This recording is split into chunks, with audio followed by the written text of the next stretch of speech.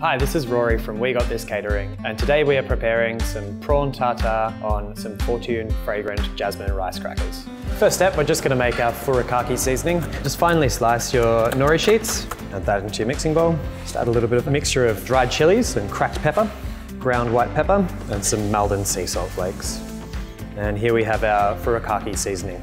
The first step for the uh, rice paper is pour the 500 mils of water 100 grams of the rice, some oil, and just a little bit of sake for flavouring as well. So we just need to stir this now. Uh, we'll let that one boil away. So now that the rice is well overcooked, all we need to do is add our tamari and some rice flour. Start to go a bit claggy. Scoop some of the paper mixture onto a flat pre-oiled tray um, and spread it nice and thinly onto the tray. Place your mixture into the fridge for one to two hours. So now we're just gonna break up the rice paper place it in the deep fryer, and that should take three to four minutes to fry at 200 degrees Celsius.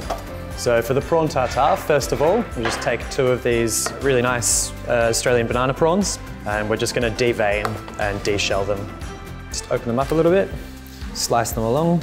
So we take half a bunch of chives, slice them thinly, grab our shallot, and then just finely dice it.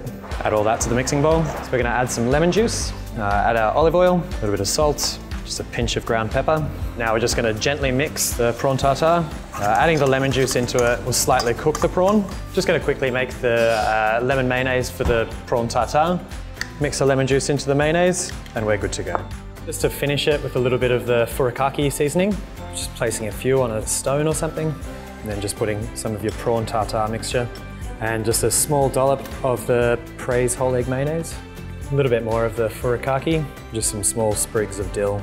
So there you have it, our prawn tartare rice crackers. These are a product that we like to do just because they're unique and uh, quite intriguing to our customers.